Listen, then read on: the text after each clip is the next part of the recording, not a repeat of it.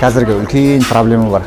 Барлық ата аналарға айтар едім ата аналарға ата аналардың балдарын сақтау үшін және өздерін сақтау үшін көп нәрсені айтатын едім. Мен жақында бір ә, дана сөз жазғанмын.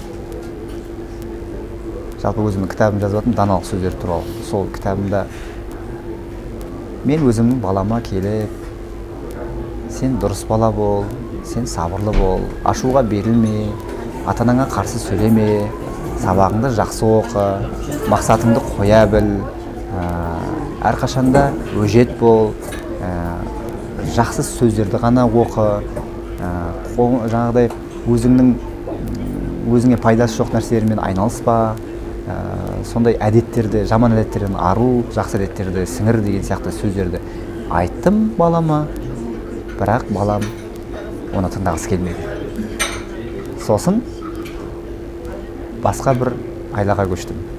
Қандай айла дейсіз ғой бірінші өзім сондай болуым керек болды. Көрдіңіз ба сондықтан да айтайын дегенім адамдарға бір нәрсені айту емес өзің сондай болуың керексің. Мен оны айтайын деп отқан себебім қазір қоғамды құртып жатқан әлеуметтік желілер телевизор бос отырыстар телефон. телефон. Көрдіңіз ба осы нәрселер не істеп жатыр адамдарды құртып жатыр. Қазір адамдар өздерінің балаларын және өздерін дамып жатырмыз деп ойлайды. Олар дамып жатқан жоқ. Олар өздерінің уақытын жағып жатыр. Көрдіңіз ба адамдар уақыт жоқ деген нәрсені көп айтады. Мен бағана бір неге оралайын. Жалқаулық деген нәрсеге. Адамдар дейді жалқаулық деген нәрсені кейде байқамай қалады дейді. Бір адам бір нәрсені істеп жүрген кезінде неге мына нәрсені істемейсің? неге балаңа көңіл бөлмейсің? Ә, неге өзіңнің ә, әйеліңе көңіл бөлмейсің? неге ата анаңа көңіл бөлмейсің десе менің уақытым жоқ дейді. Көрдіңіз ба? Не істеп жатырсың десе мен жұмыста жүрмін. Ана жұмыс істеп жатырмын мына жұмыс істеп жатырмын дейді. Сонымен дейді өзінің жұмыс істеп жүргенін ә, басшылыққа алып адамдарға өзінің уақыты жоғын екенін айтады дейді. Негізінде олар дейді. Баласына қарауға жалқауланады әйеліне қарауға жалқауланады ата анасына қарауға жалқауланады да сол жалқау деп айтпау үшін басқа істермен айналысып жүреді дейді. Демек бұл жерде не шығады? Жалқаулық деп отырғанымыз іс көрінісіндегі амалдар. Көрдіңіз ба? Мысалға видео айтасың. Балаңа айтасың бір тапсырма тапсырып кетесің. Есіктің алдының қарын ашып қой. Егер ол бала қарды ашқысы келмесе үйде отырып компьютерде отырады. Сосын сен келген кезде айтады неге есіктің қарнын ашпадың? десе мен компьютерде үйге берген тапсырманы орындап отырдым дейді. Көрдіңіз ба? Ол өзінің жалқаулығын басқа болмайтын істермен алмастыру арқылы өзінің жалқаулығын жасырғысы келеді. Көрдіңіз ба? Жалқаулық деген осы.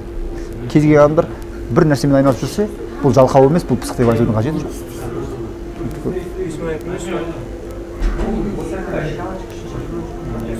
Жалқаулық сол пайдасыз дүние дейсіз ғой жалпы